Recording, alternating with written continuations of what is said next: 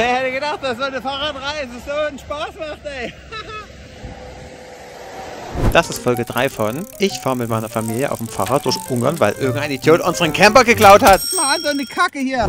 Franzi zieht alle Register. Irgendwann muss man es machen. Irgendwann nützt alles nicht. Dann muss man halt durchziehen. Oder Theo? Zwölf Sekunden später. Theo, kannst du bitte jetzt aufhören mit Schlafen?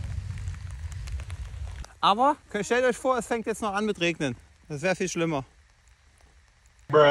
Eine Ewigkeit später. So, jetzt geht's los, oder? Mucke! Hey, Polly!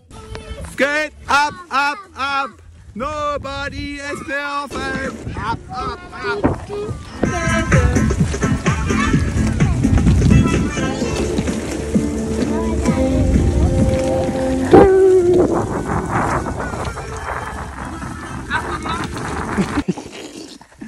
Du fragst, sie verzweifelt schon wieder.